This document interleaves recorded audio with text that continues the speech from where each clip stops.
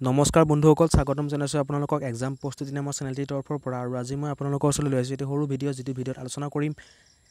একৰ পৰা নিৰানব্বৈৰ ভিতৰৰ সংখ্যাকেইটাৰ বৰ্গ কেনেকৈ অতি সহজ পদ্ধতিৰ দ্বাৰা উলিয়াব পাৰি যিটো সহজ পদ্ধতি অতি সহজে আপোনালোকে বুজি পাব মই ভাবোঁ।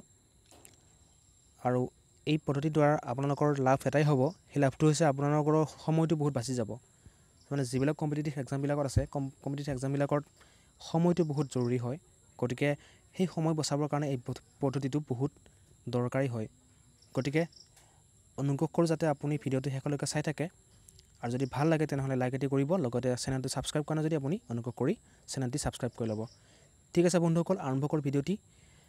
আমি জানো যে সকলোৱে যে বাৰৰ বৰ্গ হৈছে এশ চল্লিছ বাৰৰ বৰ্গ এশ চল্লিছ আমি এনেকুৱা ধৰণৰ যদি প্ৰশ্ন আহে যে আমি সোনকালে গম পাম। কিন্তু আমি কিছুমান এনেকুৱা সংখ্যা বা যেনে আঠাইছ। সেই আঠাইছ বা ঊনত্ৰিছ বা যেনেকুৱা ধৰণৰ দুটা অংক থকা সংখ্যা হয় সেইবিলাকৰ বৰ্গ উলিয়াওঁতে অলপ প্ৰব্লেম হয়। মানে সময়টো বহুত খৰচ হয়। মানে আমি কি কৰিব লাগে তেতিয়া কি কৰোঁ আমি যেনিবা আঠাইছৰ ধৰোঁ। আঠাইছৰ আমি যদি পূৰণ বৰ্গ উলিয়াব লাগে তেনেহ'লে আমি আঠাইছে আঠাইছে পূৰণ কৰিব লাগিব। তেনেকৈ মানে বহুত সময় খৰচী হয়। কিন্তু এনেকুৱা এটা পদ্ধতি আছে যিটো পদ্ধতিৰ দ্বাৰা আপুনি সহজে এই সংখ্যাবিলাকৰ বৰ্গ উলিয়াব পাৰে। আমি প্ৰথমতে আহোঁ বাৰলৈ। এই বাৰটোৰ একেবাৰে বাওঁফালে একেবাৰে সোঁফালে কি আছে বন্ধুসকল? সোঁফালে আছে দুই। প্ৰথমতে আমি কি কৰিব লাগিব? এই দুই দুই বৰ্গমূলটো উলিয়াব দুই বৰ্গ উলিয়াব লাগিব। দুই বৰ্গ হৈছে কিমান? বন্ধুসকল চাৰি। ঠিক আছে। আমি কি কৰিলোঁ এতিয়া? দুই বৰ্গ চাৰিটো উলিয়াই ল'লোঁ। তাৰপিছত আমি কি কৰিব লাগিব? দুইৰ আগত কি আছে? দুইৰ আগত আছে এক। আমি এক আৰু দুই পূৰণফল উলিয়াব লাগিব। বা দুই আৰু একৰ পূৰণফল উলিয়াব লাগিব। আৰু সেই পূৰণফলটোৰ লগত পুনৰ দুই পূৰণ কৰি দিব লাগিব। আমি জানো যে এক দুগুণ দুই হয় আৰু তাৰ লগত কি কৰিব লাগিব? দুই পূৰণ কৰি দিব লাগিব। তেতিয়া কি পাম আমি বন্ধুসকল? চাৰি পাম। এই সোঁফালৰ অংকটোৰ লগত বাওঁফালৰ তাৰ বাওঁফালৰ অংকটো পূৰণ কৰিব লাগিব তাৰপিছত দুই পূৰণ কৰি দিব লাগিব। তেতিয়া কি পালোঁ? চাৰি পালোঁ। আৰু শেষত একেবাৰে সোঁফালে একেবাৰে বাওঁফালে কি থাকিল বন্ধুসকল? এক থাকিল। আৰু একৰ বৰ্গমূল হৈছে এক। গতিকে আমি পোৱা সংখ্যাটো হৈছে প্ৰথমতে কি পালোঁ? চাৰি পালোঁ। আমি বা সোঁফালৰ পৰা বহাই আহিম অংককেইটা। প্ৰথমতে পালোঁ আমি চাৰি গতিকে চাৰি হ'ব। দ্বিতীয়তে পালে আমি আকৌ চাৰি পাইছোঁ। চাৰি হ'ব। আৰু লাষ্টত আমি কি পালোঁ? একেবাৰে শেষত পালোঁ এক। এইটো কিমান হ'ব? এশ চল্লিছ হ'ব। অৰ্থাৎ বাৰৰ বৰ্গমূল চাৰি। এইটো এটা আমি সোনকালে উলিয়াব পাৰোঁ। এতিয়া আমি চাম আঠাইছৰ বৰ্গ কেনেকৈ উলিয়াই চিম্পল সোনকালে আগবাঢ়ক। আঠাইছ এনেকুৱা হ'ব আঠাইছ। প্ৰথমতে কি কৰিব লাগিব আপুনি? আঠৰ। একেবাৰে আপোনাৰ সোঁফালে থকা সংখ্যাটোৰ বৰ্গ উলিয়াব লাগিব। আঠ। আঠৰ বৰ্গ কিমান হ'ব বন্ধুসকল? চৌষষ্ঠি। আপুনি ইয়াত চৌষষ্ঠি পাতিব নালাগিব। পাতিব লাগিব চাৰি। আৰু আপুনি ধৰিব লাগিব চৌষষ্ঠি চাৰি থাকিল গতিকে বাকী কিমান থাকিল? বাকী থাকিল ছয়। ঠিক আছে? ছয়টো থাকিলোঁ। তাৰপিছত আপুনি কি কৰিব লাগিব? এতিয়া আঠ আৰু দুই পূৰণফল উলিয়াব লাগিব। আঠ আৰু দুই পূৰণফল কাৰণ ইয়াত আঠৰ সোঁফালে কি আছে? দুই আছে। আৰু আঠৰ আৰু দুই পূৰণফল কিমান বন্ধুসকল?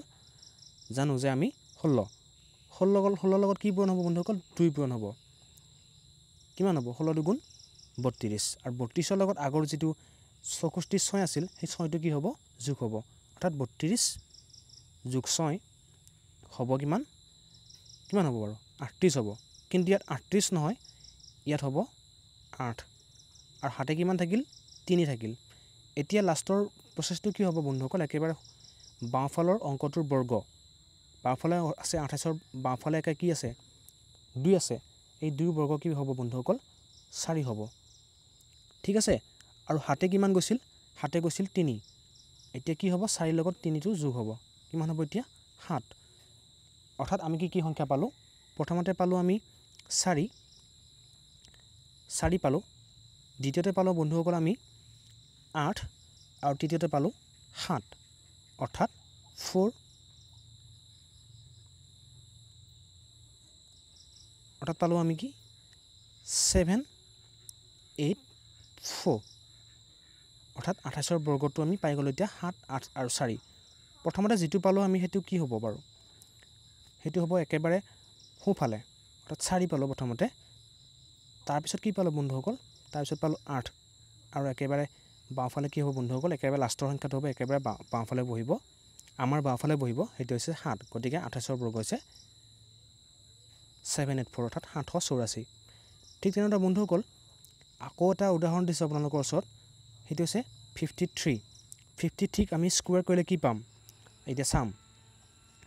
এতিয়া ফিফটি থ্ৰী অৰ্থাৎ তেৱন্নৰ একেবাৰে সোঁফালে কি আছে বন্ধুসকল সোঁফালে আছে তিনি। তিনি বৰ্গ কিমান হ'ব বন্ধুসকল তিনি বৰ্গ হ'ব ন। আৰু তাৰপিছত কি কৰিব লাগিব আমি? তিনিৰ সোঁফালে কি আছে বাৰু? তিনি বাওঁফালে বন্ধুসকল মাফ কৰিব। তিনি বাওঁফালে আছে পাঁচ। এতিয়া আমি কি কৰিব লাগিব? তিনি আৰু পাঁচৰ পূৰণফল উলিয়াব লাগিব। আৰু পূৰণফলটো কি কৰিব লাগিব? দুইৰে পূৰণ কৰি দিব লাগিব। কিমান পালোঁ? তিনি পাঁচ গুণ পোন্ধৰ আৰু দুইৰে পূৰণ কৰিলে কিমান হ'ব? পোন্ধৰ দুগুণ ত্ৰিছ। ত্ৰিছৰ কি হ'ব বন্ধুসকল? ত্ৰিছৰ শূন্য হ'ব। সাতে কিমান গ'ল? তিনি। ঠিক আছে? এতিয়া আমি কি চাম?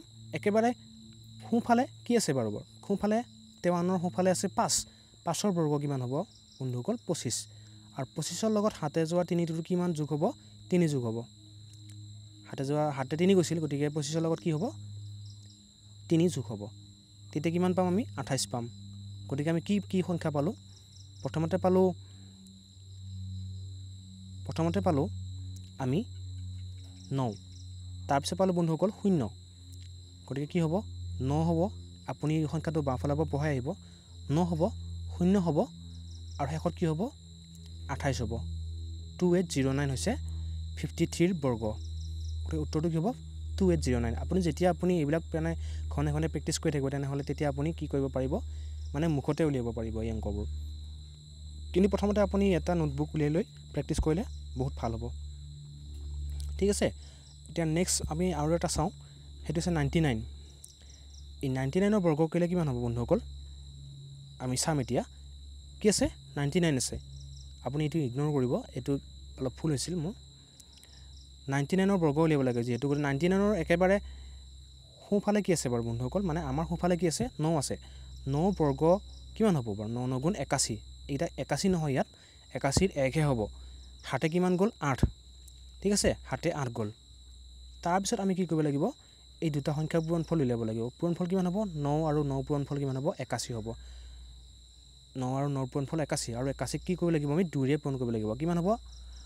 এক দুই গুণ দুই আঠ দুগুণ ষোল্ল এশ বাষষ্ঠি। ঠিক আছে? আমি এতিয়া কি হ'ব ইয়াত? ইয়াত এশ বাষষ্ঠিৰ এশ বাষষ্ঠি হ'ল। আৰু আগতে কিমান পাইছিলোঁ আমি? হাতে আঠ গৈছিল নহয়নে সেই হাতে আঠ যোৱাৰ লগত এশ বাষষ্ঠি যোগ হ'ব। এশ বাষষ্ঠি লগত আঠটো যোগ হ'ব। কিমান হ'ব তেতিয়া? আঠে দুয়ে দহৰ শূন্য সাতে গ'ল এক ছয় একে সাত এশ সত্তৰ হ'ব। ঠিক আছে? এশ সত্তৰৰ এতিয়া কি হ'ব? শূন্যহে বহিব ইয়াত। তাৰপিছত কিমান বাকী থাকিল? সোতৰ বাকী থাকিল। এশ সত্তৰৰ শূন্যটো বহুৱাই দিওঁতে বাকী থাকিল সোতৰ। তাৰপিছত আমি বন্ধুসকল একেবাৰে শেষৰ প্ৰচেছটো হৈছে ন। এই নৰো মানে একেবাৰে বাওঁফালৰ সংখ্যাটো হৈছে ন। এই নৰ বৰ্গমূল বৰ্গ কিমান হ'ব বন্ধুসকল একাশী। আৰু একাশীৰ লগত কি যোগ হ'ব? হাতে যোৱা সোতৰটো যোগ হ'ব। একাশী প্লাছ সোতৰ কিমান হ'ব? Ninety eight. গতিকে আমি বন্ধুসকল কি কি সংখ্যা পালোঁ এতিয়া? প্ৰথমতে পালোঁ এক দ্বিতীয়তে পালোঁ শূন্য আৰু তৃতীয়তে পালোঁ আঠানব্বৈ বা নাইণ্টি এইট। গতিকে কি হ'ব? উত্তৰটো এক হ'ব। বাওঁফালৰ পৰা বহি আহিব। এক হ'ব শূন্য হ'ব আৰু হ'ব nine eight. Nine eight zero' one হৈছে নাইণ্টি নাইনৰ বৰ্গফলটো। ঠিক আছে? আপোনালোকৰ যদি ভিডিঅ'টি ভাল লাগিছে তেনেহ'লে লাইক এটা কৰিব আৰু ধন্যবাদ ভিডিঅ'টি শেষলৈ চোৱাৰ কাৰণে। জয় অসম জয় ভাৰত।